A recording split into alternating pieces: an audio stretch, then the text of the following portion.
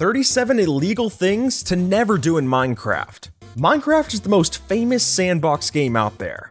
But even with that title, there's still some actions in the game that you should just flat out avoid. Whether it's breaking a spawner, going AFK in the nether, and really everything in between, it's on this list. Hey there folks, I'm Skip the Tutorial, and here we dive deep into playing games the wrong way. And hey, jumping in on behalf of the police chief to say that only 12.7% of you watching are subscribed.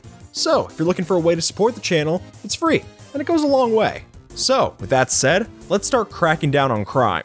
Number 1. First to get out of the way is a pretty common one when you're first starting out, but if you're looking to pick up some valuables in the mine, always make sure your tool's up to code for the job, especially when you find some diamonds. Now, the prevailing wisdom for this is to use iron or above, but just keep in mind, that only applies to pickaxes. Number 2. Now, planting a crop field in Minecraft survival can take some work, so it makes sense that you'd want to defend it from any baddies that come by. But trust me, all the good you'll get from offing that monster won't outweigh how much you trampled the amber waves of grain. Use a ranged weapon for this situation, or just let it despawn. No need to trash your crops for it. Number 3. The nether is no place to be reckless. In fact, there's plenty of hazards to worry about even when you're being safety slow, meaning if you chug a speed potion in the nether, it's bound to be a bad time. Worst of this is that it's just such a waste of an opportunity. I mean, any other potion would work better in this situation. Well, at least some would. Number 4. Let's dive back into the mines for this one, because this is a misdemeanor that's sure to ruin your day. If you see a vein of diamonds, take the time to mine around them. Trust me, you'll want to do this. The fine for having no patience here can really start to hurt. Number 5. Alright, all you criminal masterminds, this one's for you. If you're looking to crank up the illegal factor on your Minecraft to sky high, it's simple. Just play with a pirated version. And if you're wondering why there's no footage of a cracked version here, listen, this is a video about you breaking the law. Not me. Number 6. If you've ever played on a skyblock map, you know just how important each resource can be. That's why there's absolutely no reason you should trash all of your grass blocks. It's painful enough losing a dirt block at the beginning. Getting rid of the grass top adds another insult to injury, since you're gonna have a tough time getting it back. Number 7. Say you're running on an empty stomach, and you're jonesing for some pork to fill your belly. Well, that's easy enough, since you've got yourself a pig farm, but don't let your eyes get too big for your stomach. Otherwise, you might just ruin your chances of repopulating after your greedy habits. If you're hungry for some bacon, leave at least two to work back from. Or better yet, breed them before killing. Number 8. Another serious offense around these parts is downloading some hacks for your Minecraft client. And while things like Automine and X-Ray are harmless in your single player world, it's a risky move to turn on your kill aura for PvP. And if you ask me, when you reach the point where you're resorting to aimbot on a Minecraft server, there's a lot more going wrong than just your gameplay. Number 9. This one's just painful to watch. Look, I'm all about building redstone in different locations, and sometimes it can even be really cool. But when you start throwing your pistons under a nearby lake, you've gotta expect some issues. Like oil, redstone and water don't mix, and it's best to keep them as far away as possible so you don't wash away all of your hard work just like that. Number 10. Alright, say you want to go exploring for a new base location. And hey, nobody really wants to run at night, so a bed would be a good call to pack. The only problem is, if you trash your home bed and bring it for the trip, you'll lose your spawn point if you bite the dust. This can hurt especially bad if your original base wasn't at world spawn, and now you've left hours of progress behind. When you see a monster spawner, what's the first thing that comes to mind? Well, if it's skeletons, then maybe you can build a big farm where you use the bone meal to make more trees and crops grow. Or if it's zombies, maybe you can get rotten flesh to trade with villagers and the like. But now you won't get to see any of that, because you trashed the spawner, now the only monster here is you. Number 12. Now that hardcore survival's back in the public eye, it really puts front and center just how many things you can do in a regular world that just don't fly in the harder mode. And the most egregious of which probably has to be looking before you leap in hardcore. Because breaking your legs might not be something in a regular world, but here, it means all the difference, and it could bring your journey to an early end. Number 13. After hours of looking for resources, you finally have something to put together in the crafting table. And while I know it is tempting to go for all diamond tools, especially if you already have most of the set, believe me, there is 100% no reason to ever make a diamond hoe. It's not going to make right clicking any easier. And if you're worried about durability for your hoe, really, how much are you planting? And secondly, stone and sticks is easy to come by any time of the month. Just put those diamonds to better use, okay? Number 14. Look, I get it. Sometimes when you're out and about, it's tough to come up with a decent snack. And if you have it, rotten flesh can actually work alright here. But if that's your last resort, then please, just sit still for a minute, fill up your hunger bar, and then let the hunger effect go away. There's no point to continue running around, and especially none to just let the hunger bar only fill up part way. Go all the way, sit still for a second, and then move on with your hunger bar. Number 15. The Homeowners Association asked for this one. But if you're building a wooden house, there's plenty of ways that you can make it look good from the inside. And while I know it's tempting, maybe hold back from the fireplace, especially if you're not going to keep it up to code. Because one stray right click with a flint and tinder can make the whole place light up. And trust me, there's nothing worse than seeing hours of work go up in smoke and down like that. Number 16. After hours of playing Minecraft, you're bound to come up with some junk in your inventory. And while throwing your stuff into lava or a cactus is a good way to get rid of it, just please be careful while you're doing it. Because there's nothing worse than going through useless stuff in your inventory and all of a sudden chucking your trusty pickaxe right into the flames. And if you're gonna chuck all your good stuff into the lava so carelessly, then you might as well just send your whole self in. Number 17. This is one of the classic Minecraft testaments. But let's say after you found some good resources, you want to take your iron ore and get right out of the mine shaft. And while common geometry would say that the fastest way from point A to point B is a line, digging straight up might just prove that it's worth taking the extra minutes to build a staircase. You wouldn't want to lose all your stuff and the hours that came with it. Number 18. Say you're jaunting around your world when all of a sudden, life kicks back in. Maybe you've got responsibilities to deal with, or you're just getting a little tired. Well, no worries, but if you're gonna go AFK, then you should have a reason behind it. Like hanging out at a fish farm or a mob spawner. But if you're just going AFK for no reason, then you're putting yourself in way too much danger. Especially on a multiplayer server where you can't just pause the game. If you gotta go away for a few minutes, just hit disconnect and come back to it later. Everything will be right where you left it, and you'll end up a lot more alive than the other way. Number 19. This one takes a bit of math to figure out, but after doing it this way, there's no way you'll go back to the old method. You see, a log and a plank burn the exact same amount of items, about one and a half, but obviously a log will give you four planks, so that'll give you way more efficiency for your buck. Or better yet, you can get charcoal by burning that same log, allowing you to smelt eight different items. And if you got some wood to burn, then the best way about it is using those two planks to burn three different logs, turning the four and a half items they would have smelted into 24. Number 20.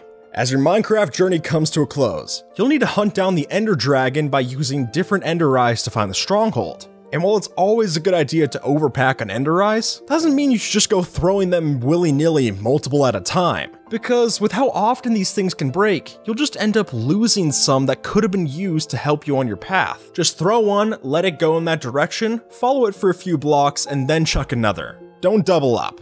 And especially don't 16 up. Number 21. While we're dealing with Enderman, please keep in mind to never shoot an arrow at one. At best, you're just not gonna hit it. And if your aiming's as bad as mine, then all that time spent trying to line up a headshot is just gonna get you killed. Just go up to the Enderman, get the first hit off, and then deal with the problem. Don't let it get to the advantage. Number 22. After hours of searching the sand, you'll finally come across that one desert temple to make you rich. And as you start to head down into the chamber and find all the loot, you'll probably feel like Indiana Jones. But unlike Indy, you chose the center, picked poorly, and now there's not going to be a sequel. Number 23. While mining some nether quartz in the second dimension, it might be a good idea to throw a bit of hesitation into your habits.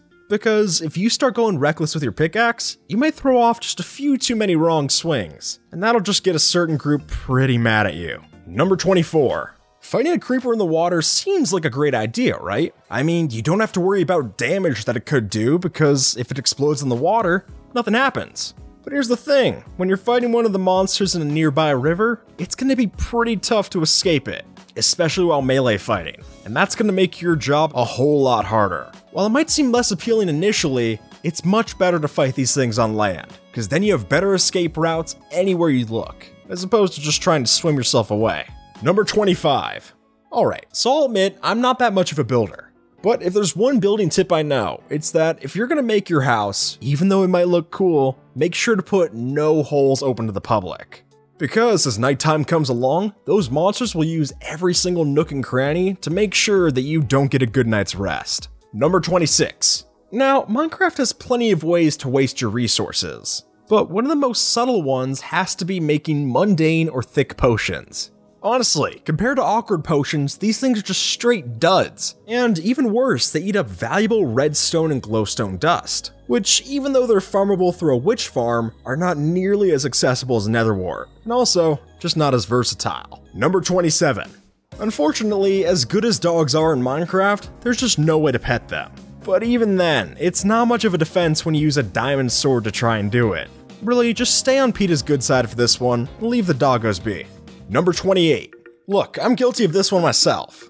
If you've ever been in a cave and find yourself right out of torches, it might seem like a good idea to use that flint and steel you keep in your back pocket. But here's the thing, as it might work for a little bit on the way down, as soon as you're trying to retrace your steps back, all those fires will have burnt out. And while you can remedy this by carrying around some netherrack as well, I don't think that's the solution. Just craft some torches, leave them on the wall, and get your way out of there. Number 29. Look, I'm not one to go out searching for math all the time, but this one actually kinda shocked me.